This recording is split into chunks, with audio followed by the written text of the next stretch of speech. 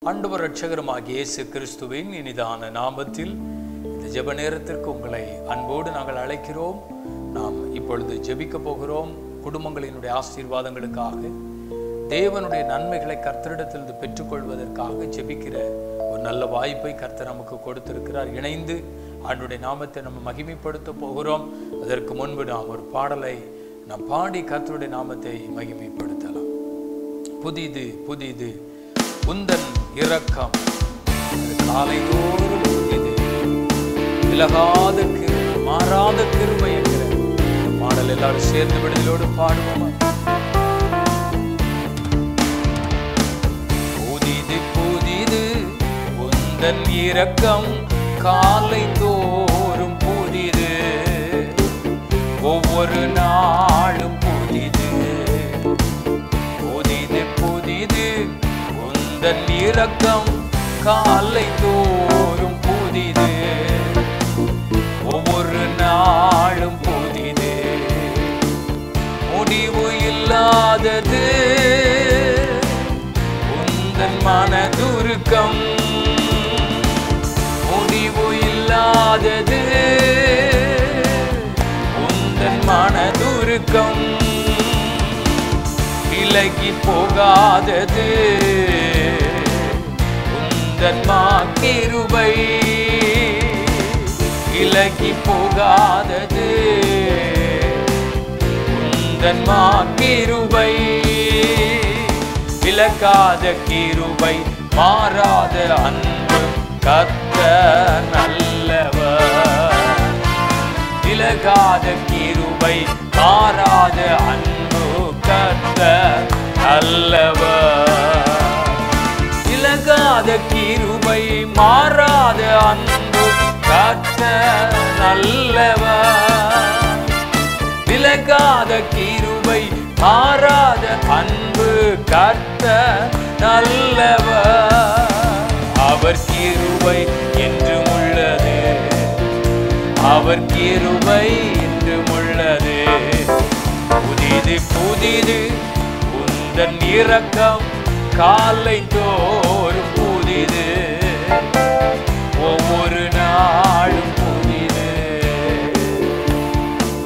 கர்த்தரே என் சுதந்திரம். Amen. ஸ்தோத்திரம்.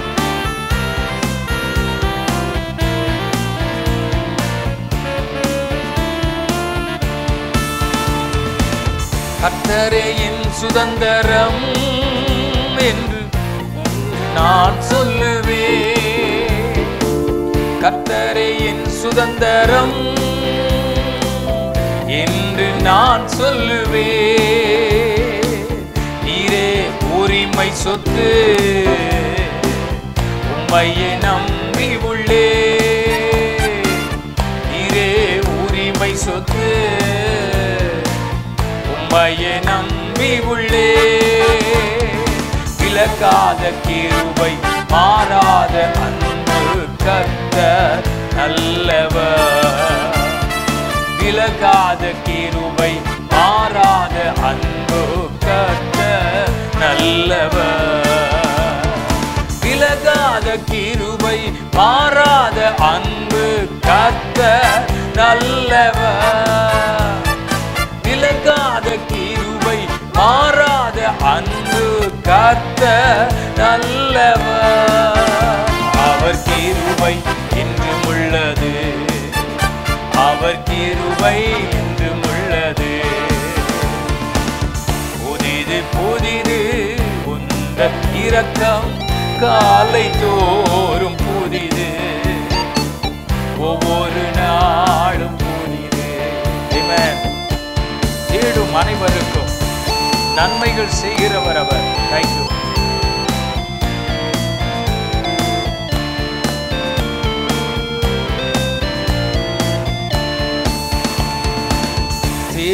அனைவருக்கும் நன்மைகள் செய்பவரே. தேடும் அனைவருக்கும் நன்மைகள் செய்பவரே. நம்பி நான் காத்திருக்கிறேன். எழுப்புதல் காணும் வரை நம்பி நான் காத்திருக்கிறேன். எழுப்புதல் காணும் வரை. விலகாத கிருபை மாறாத அன்பு கத்த நல்லவர். விலகாத கிருபை மாறாத அன்பு கத்த நல்லவர். விலகாத கிருபை மாறாத அன்பு கத்த நல்லவர். விலகாத கிருபை மாறாத அன்பு கத்தர் நல்லவர் அவர் கிருபை என்றும் உள்ளது. அவர் கிருபை புதிது புதிது தன் இறக்கம் காலை தோறும்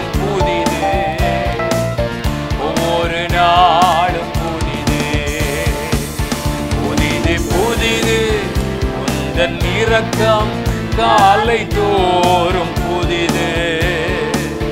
ஒவ்வொரு நாளும் புதிது.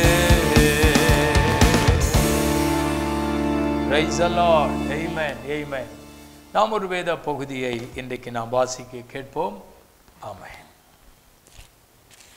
அப்போஸ்தலர் பதினேழாவது அதிகாரம் அதன் பதினோராவது வசனம்.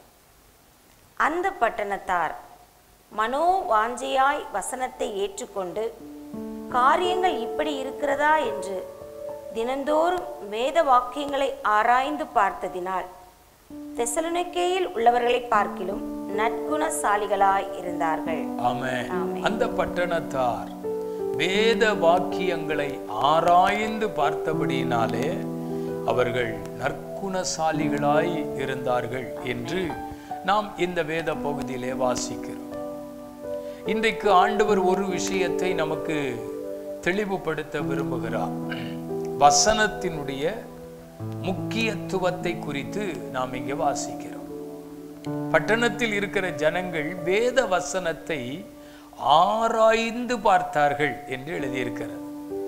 அந்த வசனத்தினுடைய முக்கியத்துவத்தை அவர்கள் அறிய ஆரம்பித்த போது தேவ வார்த்தையினுடைய முக்கியத்துவத்தை உணர ஆரம்பித்த போது அது அவர்களை மாற்ற ஆரம்பித்தது.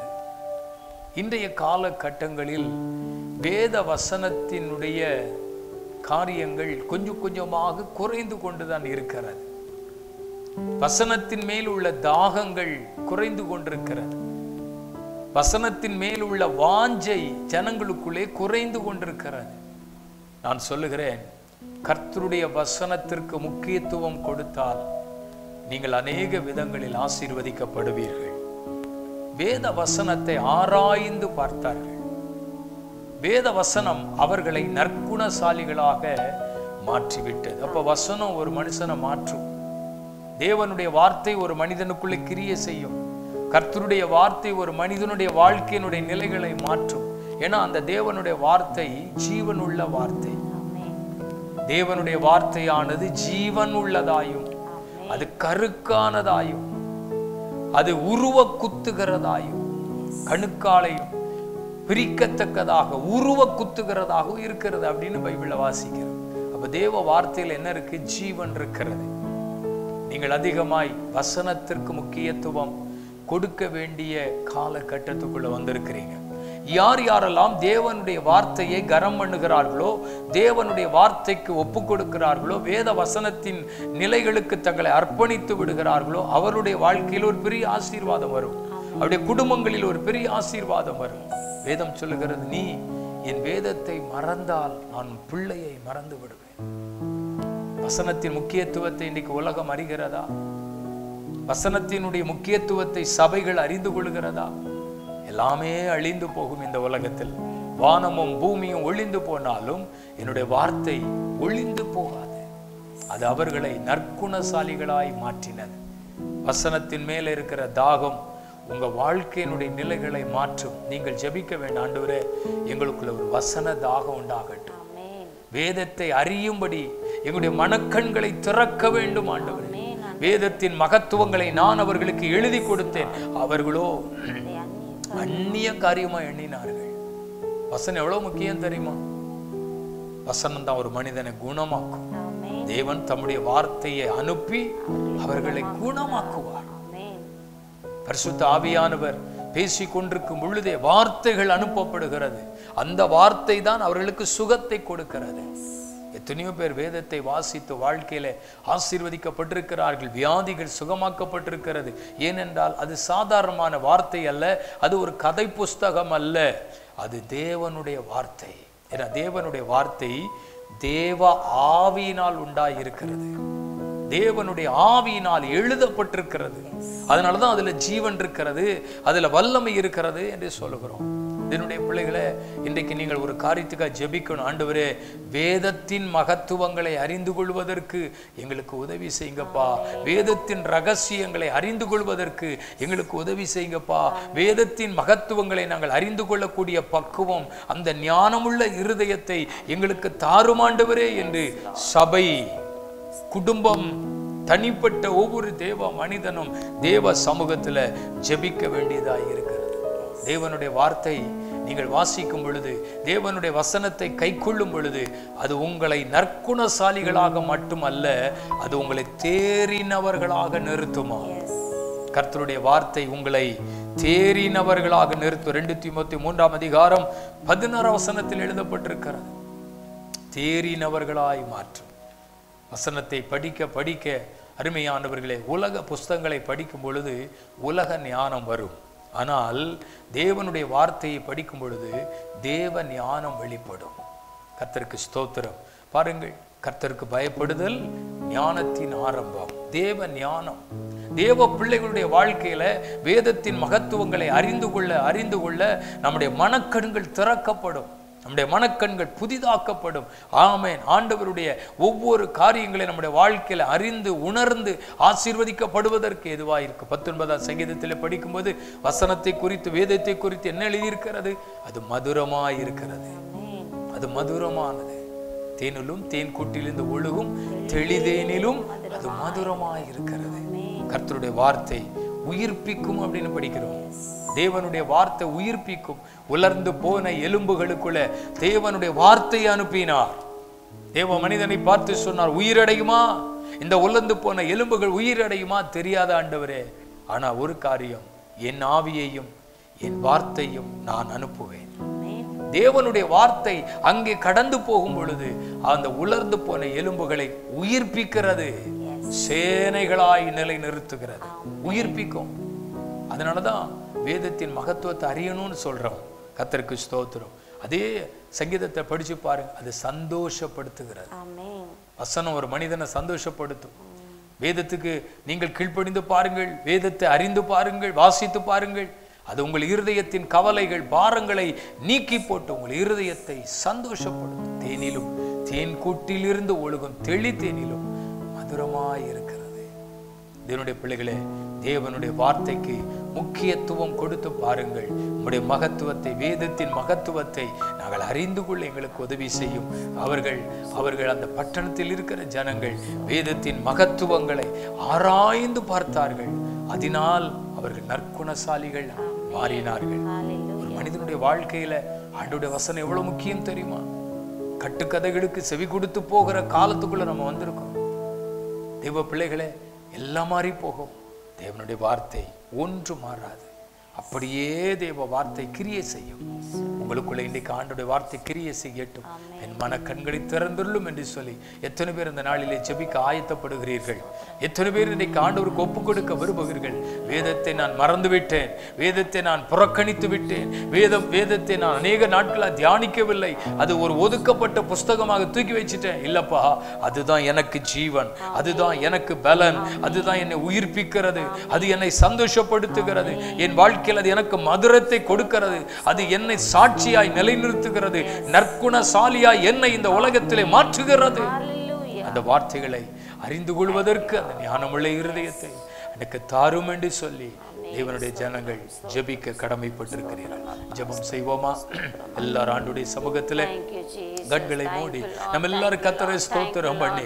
ஆண்டவரே எங்களுக்கு அப்படிப்பட்ட கிருபையை தாரும். அப்படிப்பட்ட வல்லமைகளுக்கு தாரும் என்று சொல்லி கர்த்தருடைய முகத்தை நோக்கி பார்த்து ஜெபம் பண்ணுங்கள். வசனம் உங்கள் வாழ்க்கையின் தரத்தை உயர்த்தும். வசனம் உங்களை மேலே கொண்டு வரும். வார்த்தை உங்கள் வாழ்விலே ஜீவனை தரும். மறந்துடாதீங்க தேவனுடைய வசனத்தை ஒருபோதும் மறந்துடாதீங்க உமது வாக்கை என் இருதயத்தில் வைத்து வைத்தேன் என்று சொல்லுகிறார் அல்லவா?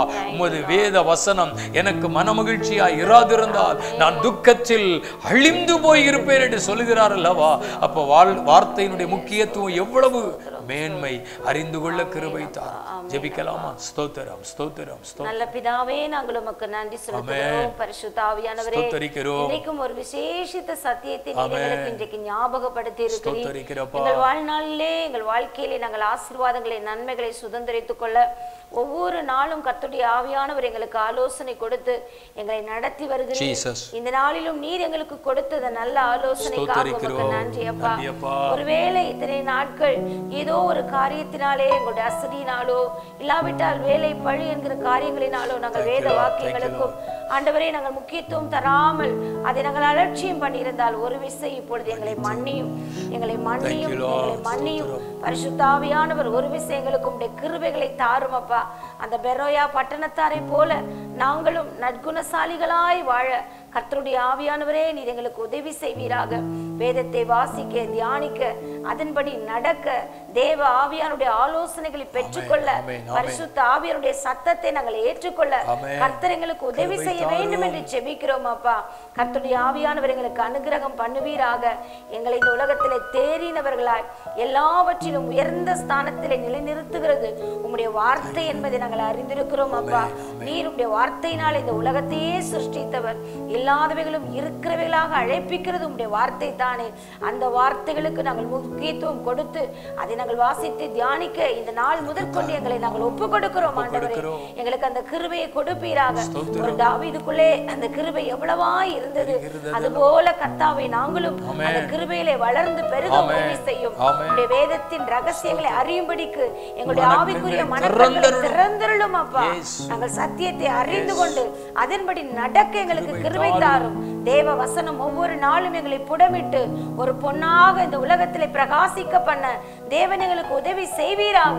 இயேசுவி நாமத்தினாலே இயேசுவி நாமத்தினாலே வசனத்திற்கு முக்கியத்துவம் கொடுக்க முடியாதபடி எங்கள் வாழ்க்கையில் இருக்கிற எல்லா பலவீனங்கள் போராட்டங்கள் தடைகள் இன்றோடு உடைக்கப்படுவதாக எங்கள் எல்லாருக்குள்ளும் ஒரே இருதயத்தை ஒரே மனதை கொடுத்து ஆவியானவரே ஒரு புதிய அபிஷேகத்தின் பாதையிலே நீர் எங்களை நடத்தி செல்ல வேண்டும் என்று நாங்கள் ஜெபிக்கிறோம் அப்பா. தேவனை அறிகிற அறிவில இன்னும் வளர தேவனுடைய சித்தத்தை அறிகிற அறிவில இன்னும் வளர பரிசுத்த ஆவியான உம்முடைய வசனத்தின் வெளிச்சத்தை எங்கள் உள்ளத்திலே கட்டளையிட வேண்டும் என்று நாங்கள் ஜெபிக்கிறோம். கர்த்தருடைய கரத்தை நாங்கள் இந்த நாள் முதல் கொண்டு பார்க்க போகிறோம். தேவனுடைய ரகசியங்கள் எங்களுக்காய் வெளிப்படுத்த போகிறது.